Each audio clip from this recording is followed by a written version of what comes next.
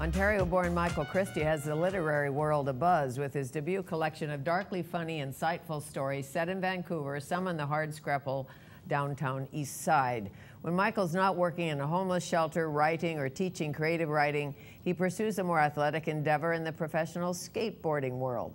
He is currently senior editor at Color Magazine, which is skateboard's culture publication, and it is my pleasure to welcome Michael Christie to Studio 4 to tell us more. Nice to see you. Nice to meet you, Fanny. Well, skateboarder turned scribe. Yes. How did that happen? When did it happen? Um, it was sort of a process that was going on uh, for most of my life. I am a longtime reader, and uh, you know, as I was in my skateboard career, I started to realize that my body was sort of starting to break down a little bit, and uh, I was going to need something else to do.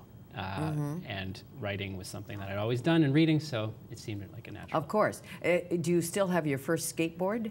Is it bronze? I don't know. It is long gone, unfortunately. Mm. Yeah, I didn't uh, keep. I would love to have it though. But you'll keep this book. I will keep this book. you yes. know why? It's really good. Well, thank you. Mm. So nine stories. What's the secret to writing a short story? Do you think? Um, the short story is unique in that it is more like a poem than a novel, or it's actually also mm. more like a joke because you, you have to get in, you have to establish the characters, and then you have to get out quickly. And uh, so, yeah. Sure, and and the first paragraph you have to get me in quickly. You do. And uh, I, all of the people who endorse this book on the back, mm-hmm. they write well. Yes. Uh, their, uh, their craft is evident. Uh, Lee Henderson says about you, about this book, uh, his language picks you back up again and dusts you off. His wise, dumb characters become your new friends, and their stories remind you of the strange, funny struggle that is written on our collective heart. Lee, Lee Henderson is a fantastic writer in his mm -hmm. own mm-hmm. right, so I'm very happy so, that, yeah. Uh, it's beautiful prose. Yes, it is. Now, back to you. Uh, one of my favorite stories in the book uh, yes. Bernice yeah. and Wanda. Bernice, having worked in the shoe department at Woodward's, yes. when we had a Woodward's, mm-hmm. where they sold Paris hats and peanut butter. That's right. Just about everything. And Wanda, her sister, and Wanda suggests to Bernice mm-hmm. that she um, move away from Vancouver and into her coach house uh, of, uh, th that's on her property in Kelowna. Mm-hmm. Uh, and Bernice is the owner of a thrift shop in uh, Vancouver's downtown east side. She's been there for many years. Uh, is was left by her husband early on in her life and sort of has been stuck in this thrift store. Oh, stop there. Yeah. About, I, I don't know how you imagined this, but when uh, Bernice's husband Gus left, yes, it was a bit odd because do you want me to tell the story? Sure, yeah. Or you tell the story because it's such a good story because Bernice is doing, I think, his laundry. That's right. And she finds a cleaning ticket in the pocket. Seemingly innocuous thing, um, but she so she takes the cleaning ticket into the dry cleaner, hoping to just do Gus a favor, mm -hmm. and she return is given in return a dress that is uh, much too big for her. A green dress with a mink collar. That's right. That's obviously uh, not Gus's. Certainly not Gus's, no. Mm -hmm. Yeah, and that that's told in backstory, and that's sort of the story of how her marriage uh, came apart. Came apart because yeah. she's a very smart woman. Bernice. She leaves the dress that she's picked up at the cleaners yes. on the kitchen table. Yeah.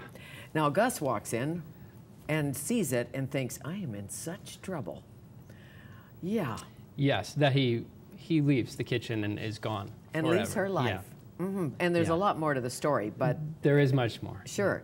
Uh, an interesting part of it is what people uh, throw away or give to shelters, thinking that somebody in the shelter will want this stinky old T-shirt with holes in it. Yes. What's that about? Well, that's sort of a theme that runs through the book, and that is objects. Um, the stories are linked in the sense that objects from other stories will sort of turn up later in subsequent stories. Mm -hmm.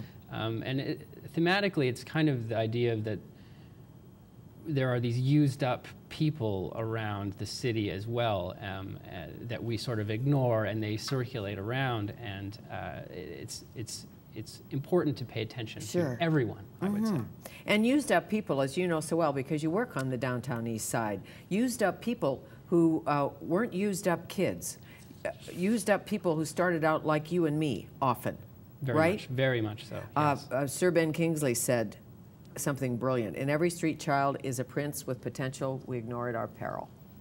So, your downtown East Side connection. Why do, why do you work down there? What was that about? I don't work there anymore. Okay, but you did. I did, yes, uh, for six years. I had a psych- I got a psychology degree from Simon Fraser University, and I quickly learned that it was going to do nothing for me in terms of employment, and so I got a job uh, at an emergency homeless shelter uh, in the downtown East Side, sort of Mm. an entry level position, and I was there for many years. And what did you learn about humans?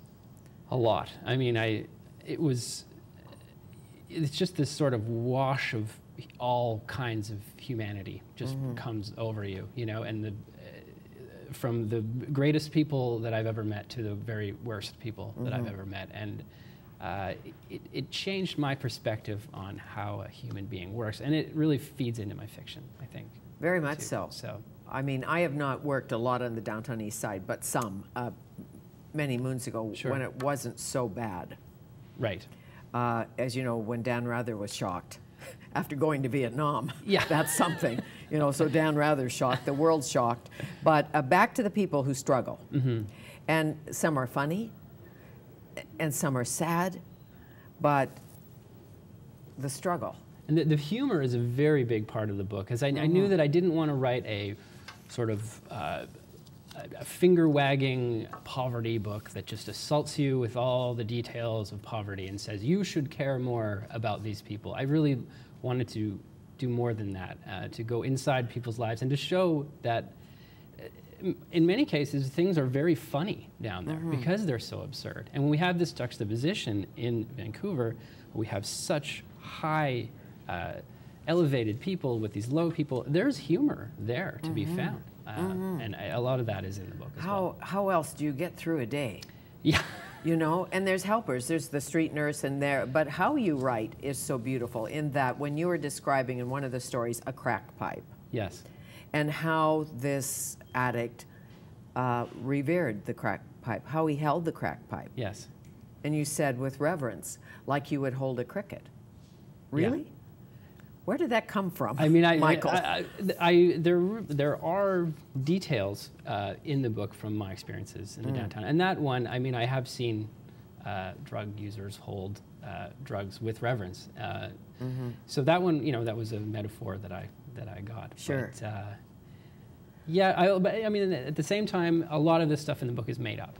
You know, uh, most of it. Sure. So But a sex trade worker, for instance, Yes. uh, going back to the Bernice and Wanda story, Yeah. uh, sex trade worker who works in the thrift shop, Mm-hmm. and she has a need to have lots of stuffed animals. yes, that's that was someone that I knew.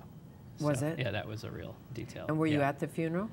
I when she died? Yeah, I was. And did somebody actually put a toy in her coffin? um, yes. Okay, because it was it, what was interesting about that story to me Mm-hmm. is people say things like in eulogies, Yeah. she's better off dead. Sure. you know, essentially. Yes. Mm-hmm. Like she didn't have the best life, so she's really happier dead. Yes. And I, I mean, I, I, I attended a number of uh, funerals, uh, just as things go in the Mm-hmm. downtown east side, of people that I worked with.